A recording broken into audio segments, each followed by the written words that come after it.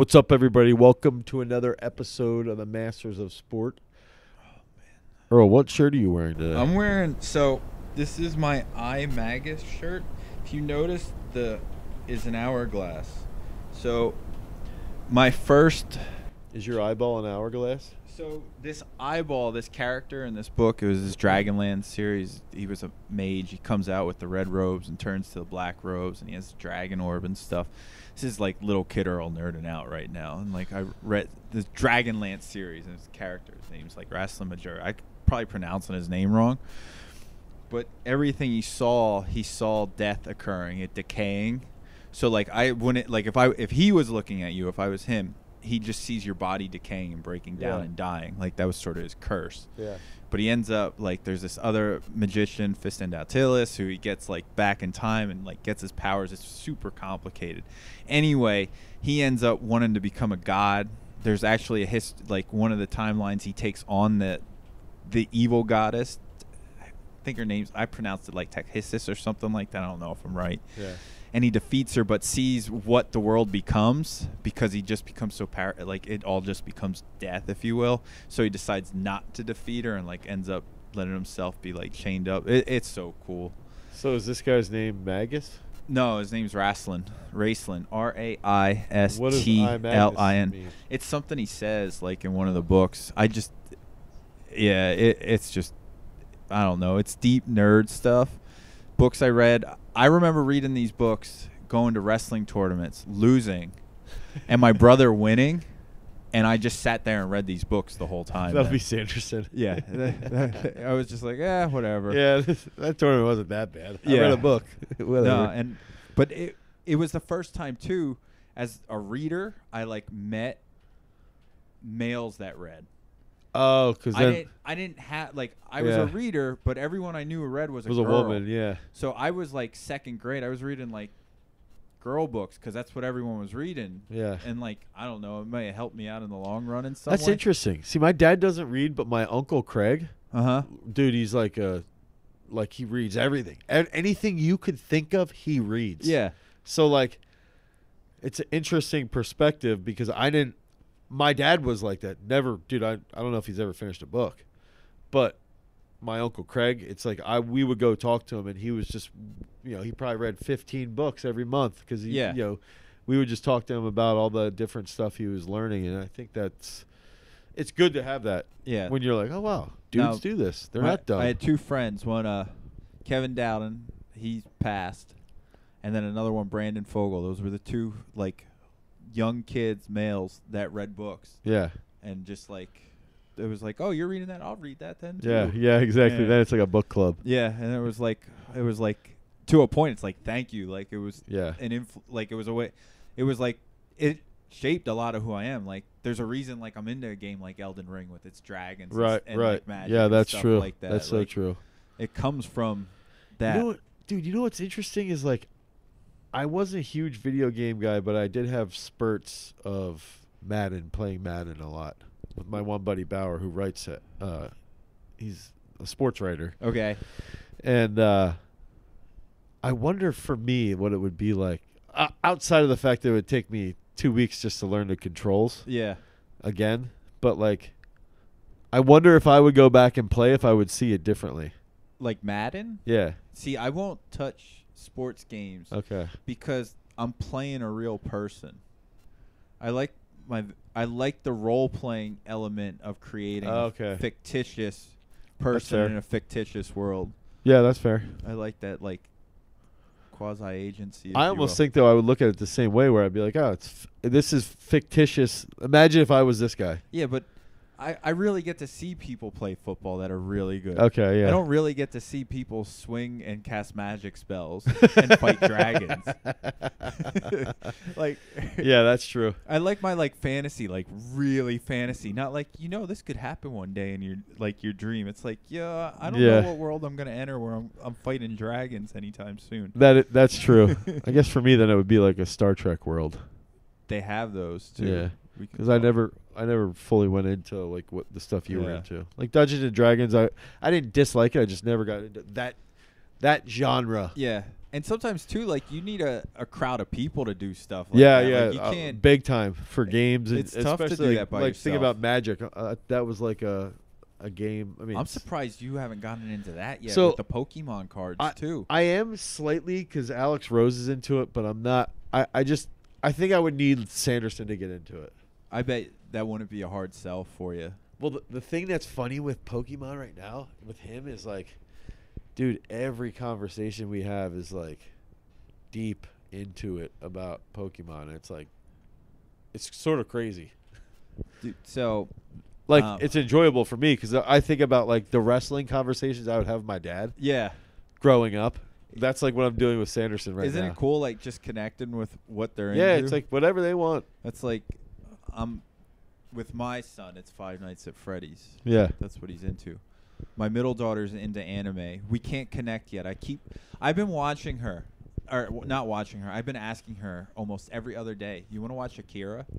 You want to watch Akira? No, I'm not that. I'm like, you sure you're into anime?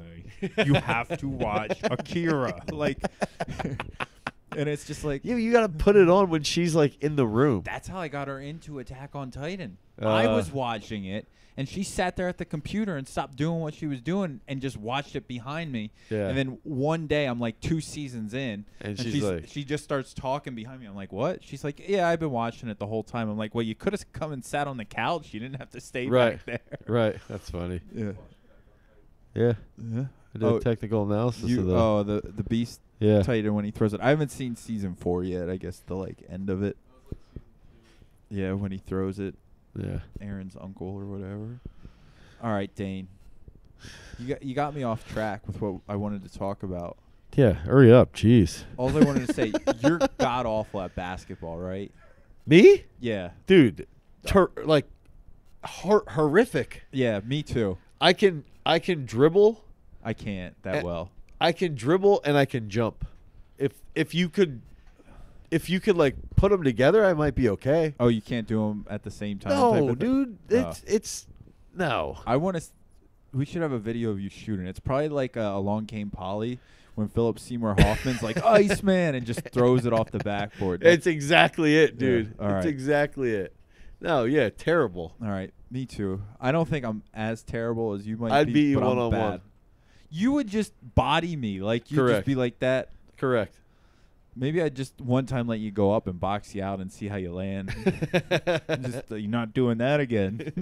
Speaking about being tough in the paint, yeah. nah. I don't know. I may just start raining it down on you too. No chance. Just launching them. You don't have a jumper. You know what? You know what? I would just say let's play to 50 and I tire you out Okay, that's that'd be good. cuz I think I have I see you do your bike things and you're like, "Oh, 10 seconds. I'm tired." No, I just held. Oh, dude, I, I just wanted- 65 RPMs for 20 minutes today. How many cows did you get? This is like 400. Wow. Have you gotten 210 minutes yet?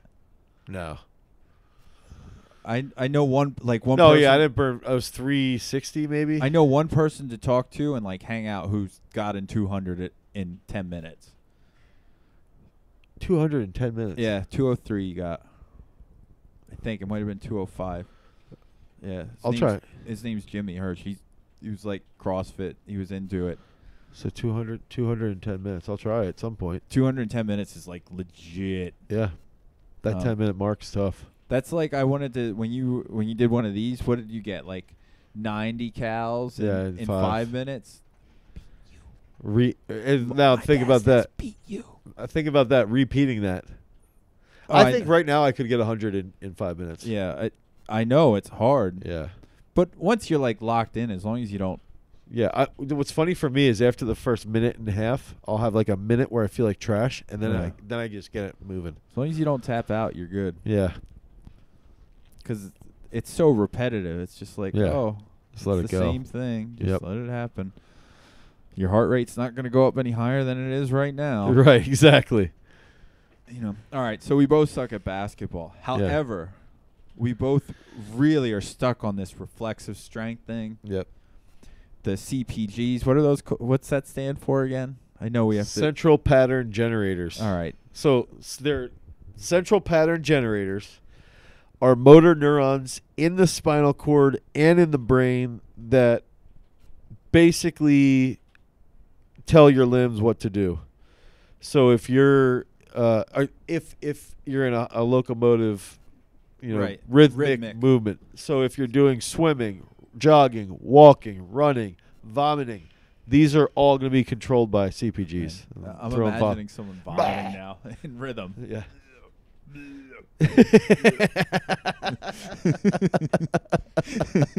someone, someone listening to this is gagging right now because of that noise. That's funny. But yeah, it- so that would be what CPGs are. All right, and then we got our PSOs. So that'd be peripheral self organization. It would be like one, how you see things around you, measurements your eyeballs are making in your brain, but also like what your limbs are feeling and, and sensing as far as uh, stability and stuff yeah, like that. that's one. So I have two senses that I think are totally underrated in the world of like the virtual, and that we as people undervalue for some reason. Well, one we kind of do is the sense of touch and feel, Yeah. and the role it plays in athletics. Oh yeah. Like, especially with your You feet. talk, yeah, I was gonna say you talk about it with feet, but like, and there's I had this thought too, that a race car driver, oh, they I must, bet their sense of feel, it's got to be their perceptive level is unreal. Yep.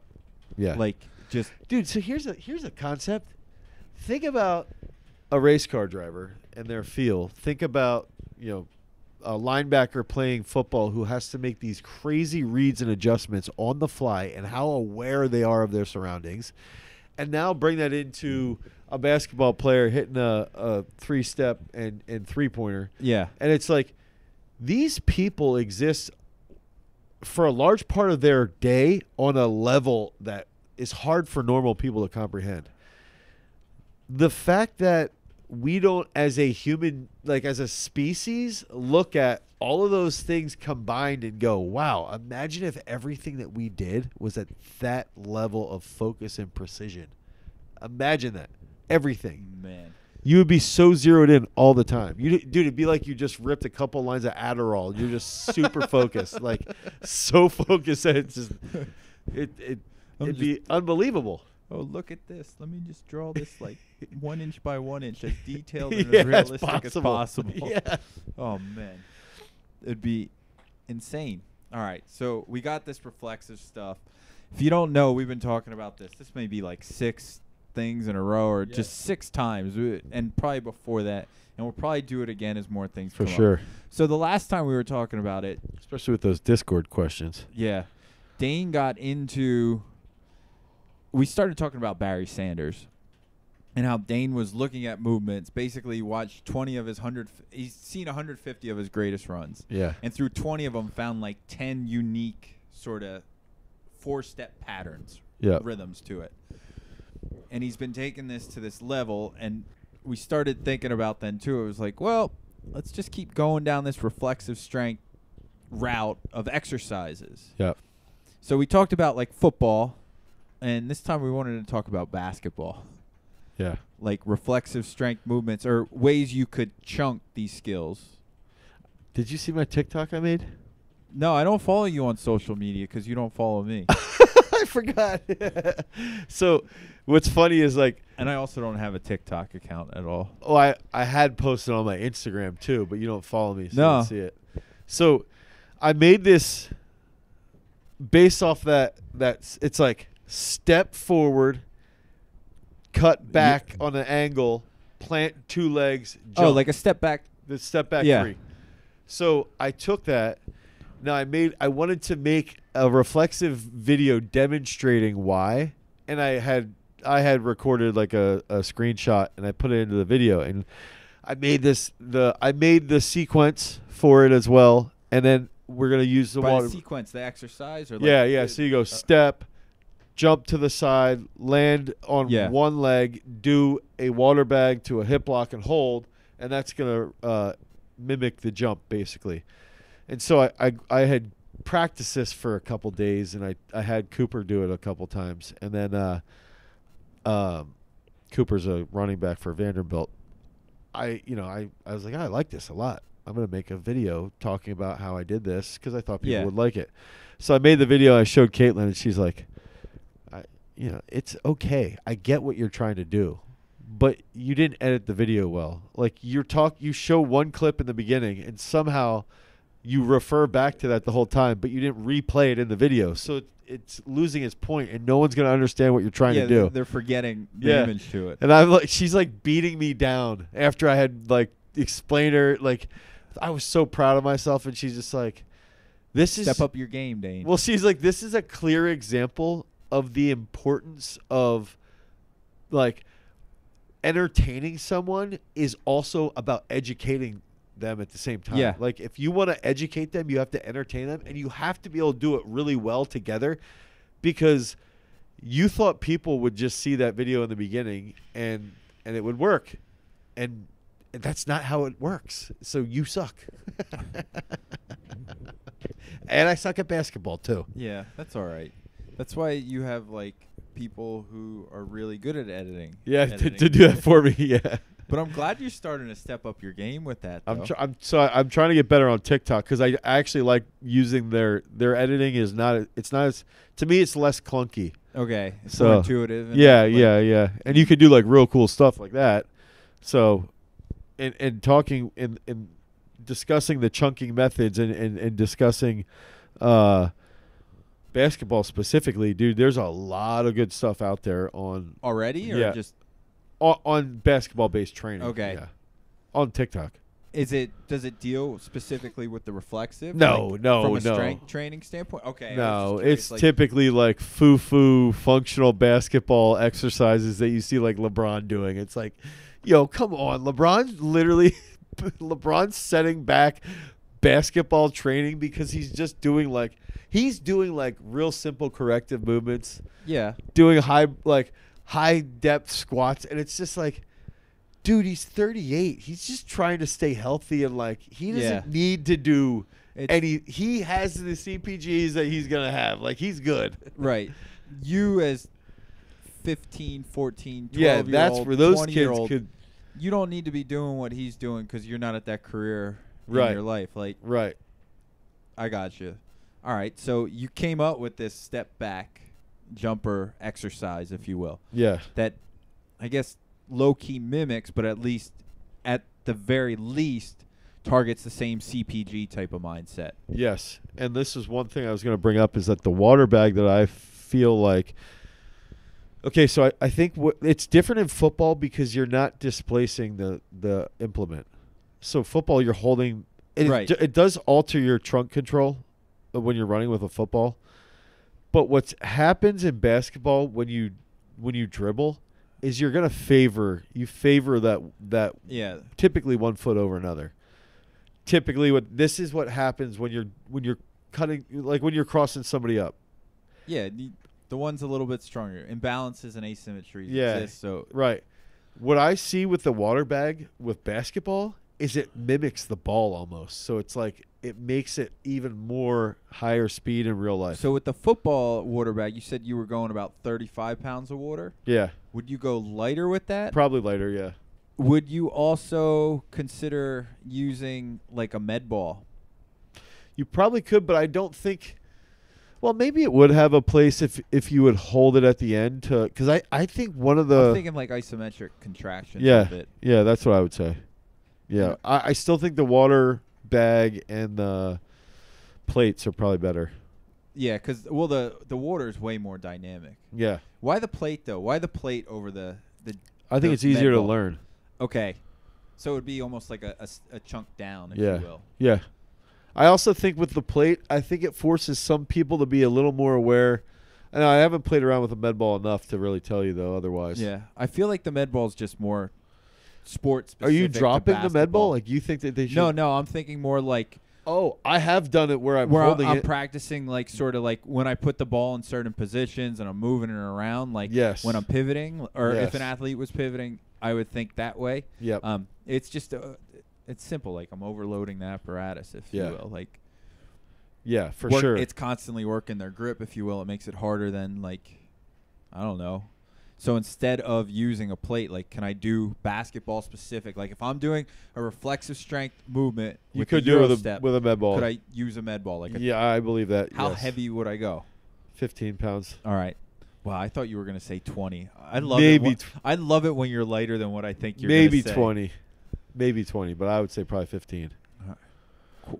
because we were playing around with like a 25 pound plate for that Okay, yeah because a plate just you know like grip stuff, like Yeah. Like a ball, like a sphere, it's like much that. more challenging Yeah, it, it's a different thing, especially with one hand. yeah Like verse two. Oh my goodness, it's so hard. yeah so I, I think that that's i mean that's where this is where i need to find my barry sanders of, of the a NBA. basketball. yeah Oh man, I'm trying to. there's think. there's a lot of them though So, especially right now Steve Nash was kind of like someone who cut up, Yo, but he- he didn't. He he did You know though. who's really no good? you know who we good allen iverson Yes. You know who else would be really good? Dirk Nowitzki, yeah um, Hakeem Olajuwon, and Kobe too. well yeah kobe Yeah, anyway but- what am i doing i could just watch kobe highlights Yeah. all day Jordan would be good too, but I but kobe would be better because he's more modern yeah, y- uh, I don't think you can ever go wrong with Jordan. I No, feel like yeah. LeBron some of LeBron was just I'm a better athlete and I'm physically more capable than you are. he's so good Yeah, he's incredible. it's crazy. I'm trying to think of other people. Watching him play, until it's like uh, I- it's- James Harden's pretty legit Yeah, too. yeah, yeah. He's good. Some But Kobe, legit. Kobe would be the the way to go. yeah, where Uh, you can like study the movement patterns and Yeah. how it works. so I'll probably do that next. Yeah, no, that would be cool. And then just develop the reflexive movements off of that. Yeah. And I think a lot of these skills too just come back. It, dude, it, it's funny because I'm starting to see the patterning stuff. It starts with the skills, the simple skills broken down into one isolative aspect. So if we think about bodybuilding, you're isolating a bicep. Yeah. If I watch somebody move, I want to isolate a co-contraction. Okay. Or no, this movement's gonna be I'm gonna isolate dynamic trunk control, which will elicit co-contractions. Or I'm gonna I'm gonna fucking try and improve. Sorry, I shouldn't have sworn. You Uh, last time too. Jason's gonna be upset. I'm gonna improve, uh, you know, their self-organization, whatever. And and self-organization might mean I call things out in the middle of them doing these things. So I think that's again going off of predictions. I think it's important to isolate muscles. I do.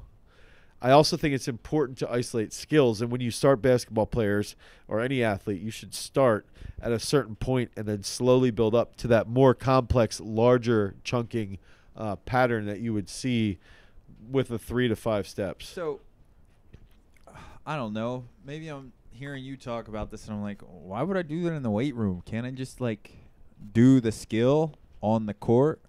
Why more so I want you to convince me why I should do it in the weight room too. Why I should create these skills. I think you could do. I think okay. So here would be my argument. I think you can do these on the court, but my this this is what I would challenge you to. One, I think that the the weight slows it down, and when you slow things down, you can do more complex movements. I would just challenge basketball players to take a plate or take a medicine ball or take a water bag to the court and say, I'm going to hit 100 reps of the Euro step sequence from just three steps. I'm going to I'm going to hit 100 reps of uh, you know, two step into a three. Yeah. You know, whatever the let's say there's three setups that that we're it's going to almost hit. like a variation yeah. of the CPG generation. And my goal would be they did that tw- two or three times a week to establish better cutting skills.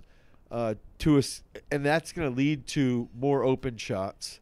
So I would argue, my argument would be that if they get so good, it's just like somebody who's a wrestler perfecting single leg shots. And I know that they do this with with skills at practice, but the hard part is it's also a team sport.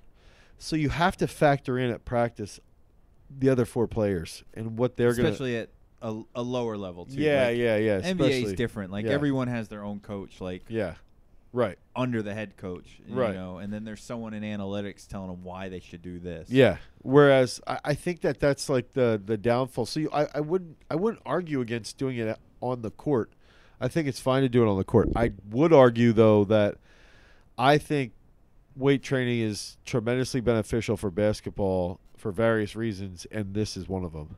So I want to invent, if it hasn't been already, uh, a water med ball, Yeah, that's good. like just for basketball players. I've seen water bags for boxing that are not that good, but there's also ones that you can hold like a handle on the top, yeah. and it's a med ball. It's almost like a water kettlebell. Okay. Uh, I think that's okay, but you're almost saying like, no, just fill it up and you yeah, hold just it. Ha- have a ball that's filled with water. Or Yeah. Whatever. Yeah, To do like have that similar, because movement. you know the water takes on the shape of the object. Yeah, exactly. You know Dylan Carlson from Earth. I don't know. I know him only because of you. Yeah. Well, the band Earth. He, I watched some video. He's giving an interview, and he's like, "We're all vessels, and the music comes into us and takes on the shape of the vessel, and you know, so when the music comes into me, it takes on this shape. Yeah. It's like, oh, it's like the water. yeah. You, man. I think it was him who said it. That- I mean, the dude from the guitarist from Acid Mother's Temple too. oh yeah, something like that. dude, aren't they from PA or is that No, Black no, Moth Super Rainbow? Japanese. Oh band. yeah, they are Japanese. Yeah, they Yeah, were no. with uh yes, uh Black Moth Super Rainbow is who I was Yes, about. yes, that's who you're thinking Yeah. of. No, Yeah. but Man, anyway. Adam Hart. Wait, no, it was uh, Acid Mother's Temple. Dude, I haven't listened to them in dude years. They haven't. They had another like a side. Oh, they have so many things. There was another big one though. Uh, I was thinking, uh, who did that album, of Silver Mount Zion? Godspeed, you Black Emperor. Oh, They're a little different. do you know they're going on tour? And um, hey, I think that oh yeah, something just Jason, Jason. that Sony went off.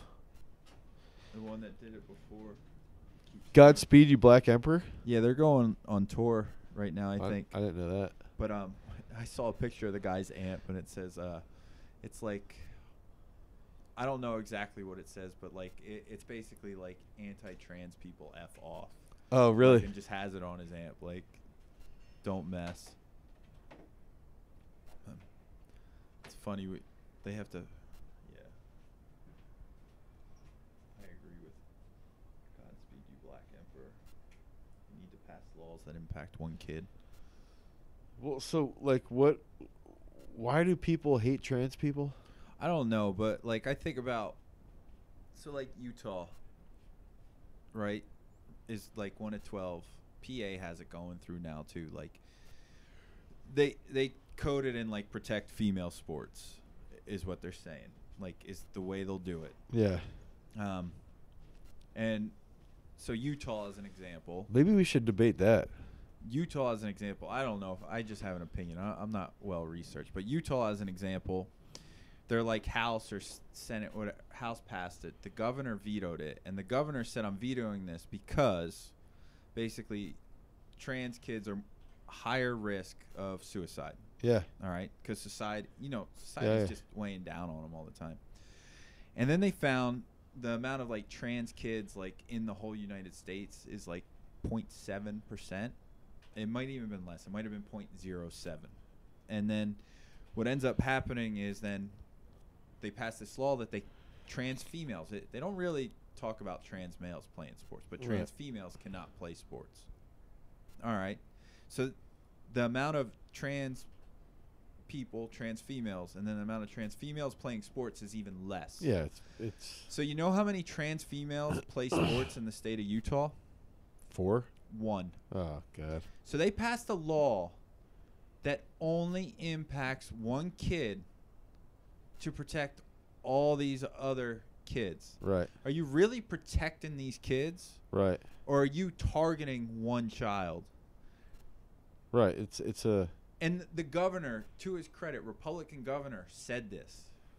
And it's just like so they didn't pass it. This got no, vetoed. it got knocked the down. Senate like went and did it then too, so it ended up going through. PA's trying to do it too, but like, what's crazy if you look at the Supreme Court rulings, it's all against Title IX, and they'll say, "Oh, your your your gender at birth," and it's like, yeah, but if you if they had a driver's license, you know what gender it would say, Yeah, it would say. and you know what gender is recognized. It's yeah. like the IOC's trying to figure this out and work it out, and like these are the best athletes in the world. Yeah, Like, that- that- this isn't like They're oh, gonna have three divisions. In, they're gonna have intersex, male, female. I don't know about I don't know if they'll let trans compete Yeah. in the future though. I don't And- know. I don't know. And I don't know. It's just like We gotta get back on this. Yeah. Uh, edit that out, Jason.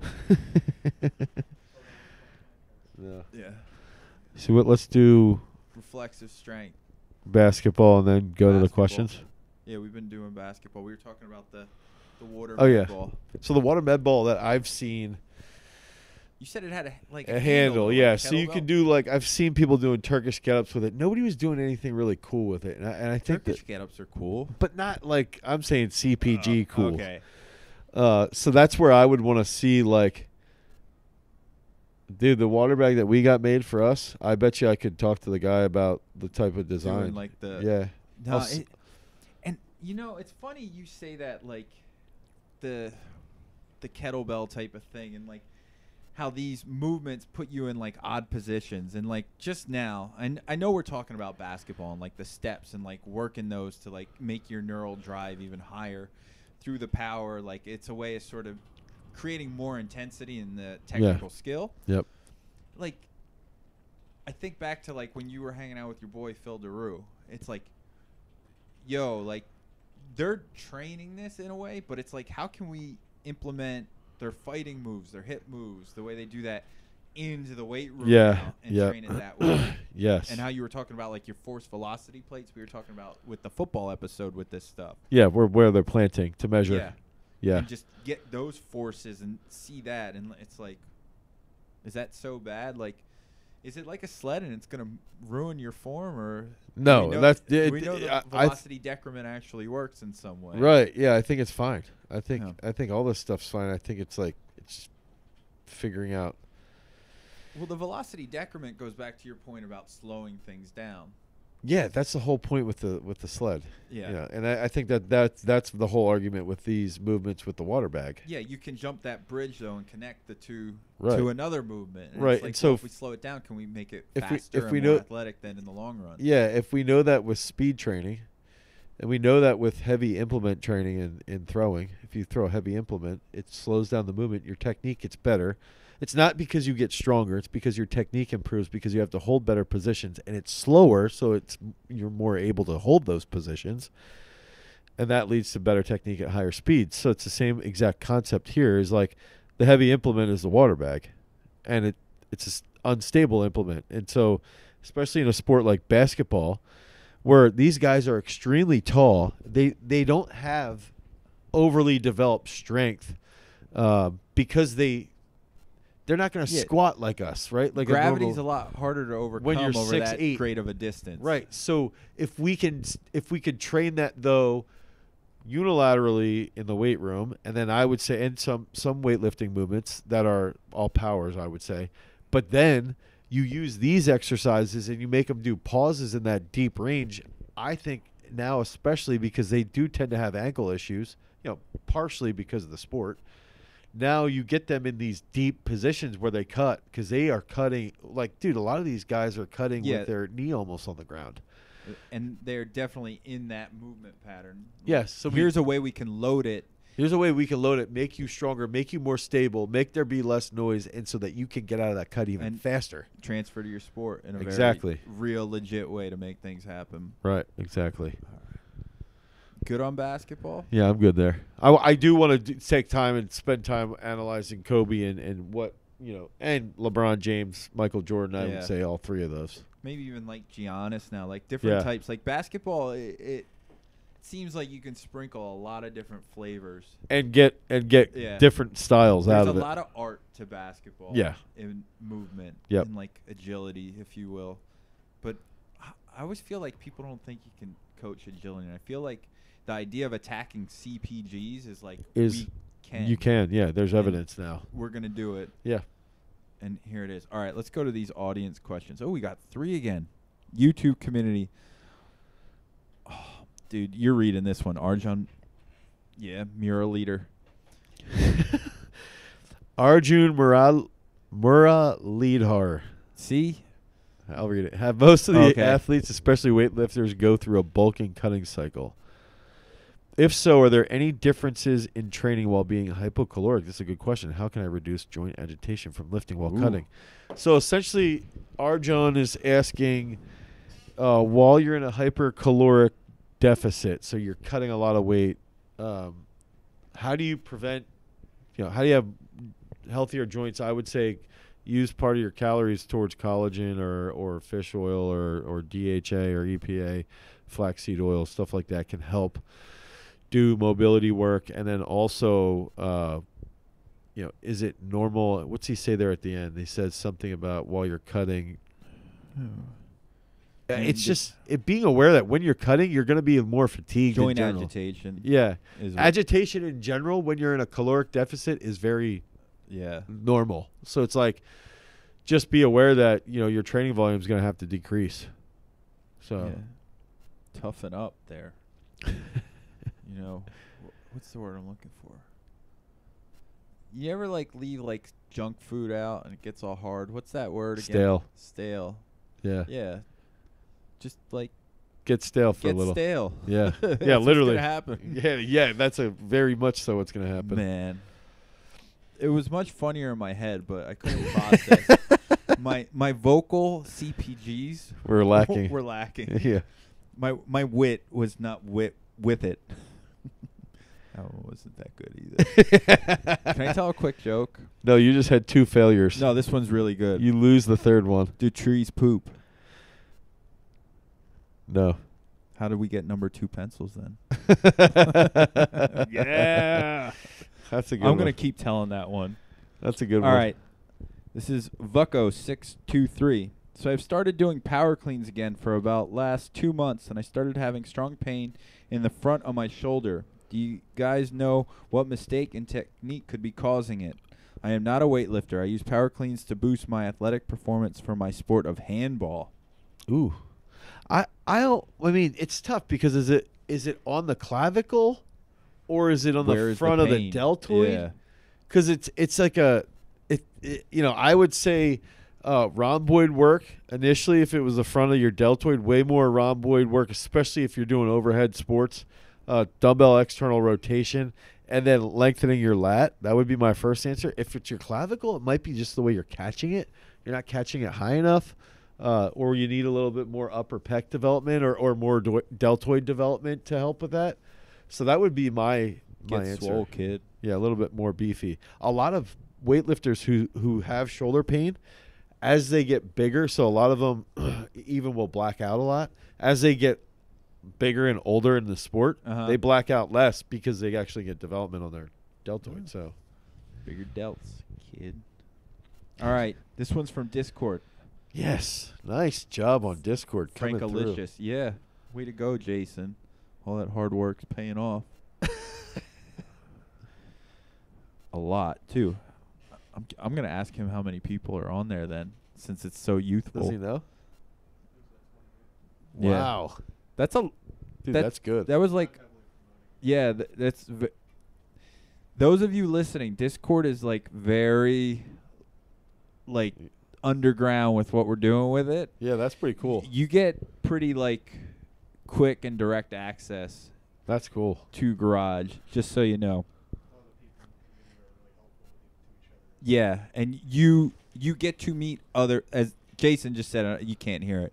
People within the Discord like bond. Like you're gonna make. Dude, that's cool. I, I don't want to say like you're gonna be friends, but you're gonna be in a community of knowledgeable people that are interested in exactly what you're there and interested for, and it it, it comes across very supportive. Like Yeah. you know how social media sometimes can be really toxic. Like that's not the case where it's at right now, and it's growing and small. So like you get in, like Yeah, that's cool. you can get that access. You all know what it's like to be a hipster in the first one involved, right? All right, Discord, Frankalicious, dude. I understand like nutrition pretty well. I just kind of suck at it. I've done wrestling, which probably didn't help my problem. But do you know anything about dealing with eating disorders? Like I understand Ooh. what mm-hmm. eliminating the disorder and what healthy, happy eating looks like. It's just doing it feels impossible. Sounds like wrestling did a number on. I dude, wrestling is freaking really prominent with eating disorders Yeah. and with autoimmunes. If you have any genetic predisposition, and I and I, I think if you th- look at eating disorders through that lens, like if this guy has maybe you know maybe he has addiction in his family, Mhm. okay, like eating disorders to a point are similar to addictions or, or similar to uh, certain. Um, I mean, it's it's like there's two. There's a couple types of disorders, like eating disorders. Um, but if you are in, re- if you're in, it's not the sport of wrestling; it's the people in it. Right, right. They can they can alter things that you're doing. Weren't you telling me the Russians are like we don't? Yeah, they don't, yeah, like, it's stupid. should, it's like, a joke. You go right, and you compete. You're That's a little it. thicker now. All right, move up a weight class. Yeah, Like, exactly. so it's like these you know, these little triggers essentially can can spark some genetic response that leads to a disorder. I I can't speak on a eating disorder though. I Yeah. I can't speak on that. I've worked with addicts a bit, not a ton, but enough. Like I I have we've had clients here who yeah, trained athletes that who've been addicts and also who are you know who've recovered and also who haven't and so Yeah. like i i think in this case if he feels like he has a eating disorder he should go see he should go see help and, and talk to somebody yeah, and helps like where it's at. yeah i think everybody should see yeah, help especially if it feels impossible, man. Like Yeah. or person. I don't know if based off Frankalicious we're gonna Yeah. jump to the conclusion but could be Yeah. francine Well, I don't know. Could be. Yeah. All right. but yeah if you have an eating disorder i would go see Yeah, help and if you're a human being i would go see help because we all Yeah. need it They- we all need it You almost need like therapy. Like you need an annual checkup. Like it would. Oh, help hell yeah. everyone like yeah tremendously. Yeah, that's a good way to put it because then you have like that that uh, baseline. Yeah, I feel like I'm lame because like I'm the only one in my family I think now that isn't going, other than my young young son, that like just doesn't go see a therapist just for like mental. Oh, clarity okay, okay. Type things. Man, Yeah, that's I- what happens when you grow up male in the United States. that's so accurate. I don't need that. Yeah. Screw you, butthead. I think I would go and just I. Right now they're all about that tele stuff and Yeah. like that's not my vibe. Like nah, you don't. I've done that though. I, I've actually done that with good success, yeah, but I could see that not being certain people's. yeah, and already me too. Male United States. That's Dude, actually, funny be. story. The yeah, that's true. Tell Uh, your story. my therapist was in Chicago for a while Uh-huh. and then moved to uh, Oxford, Mississippi. The Ole Miss, he's a professor there. And he's like, dude, I need to start going to therapy because this is not Chicago. that's my story. Nice. Sorry. Yeah, Sorry, that's anybody from Oxford. I'm sure there's great. it's probably there. nice there. but like you know, you've been spending time in Chicago. It's you know, geogra- Yeah. What is it? Um, who is it? Smog or whatever. He has this one lyric. It took me a thousand years to learn the slang. and it's like I, I had to move away, move to the country or something. I forget the lyric Yeah. exactly, but it's the idea. I I always talked about it growing up. Like when my parents moved into town, like there's generations of people. Like there's just Yeah. a language and a commu- and not like a bad language or something. no, it's just specific. to yeah. that. They just they talk a certain way. They communicate a certain way. There's certain the like flow of the, Yeah. the town. Yep. yeah, Everything. not good or bad, just is. And like yeah. when you're an and you're comfortable with it. yeah, So then you, it's same with Chicago. Same, you feel it. Yeah. Then when you leave, you go somewhere else. You're in the South. It's a lot different. Yeah, it, it's like you've been eating. Uh, I don't know. Let's say you've been eating vanilla bean your whole life, and now you have to start eating French vanilla. It- it- yeah, you're like, wait, there's something off here. Yeah. somebody's You know. screwing with me. the real ones know the difference. That's funny. All right, so we're gonna start adding more, more chunking movements around Yeah. reflexive training for basketball to our repertoire. And if you've got serious problems, go seek help. Yeah. Peace. Later.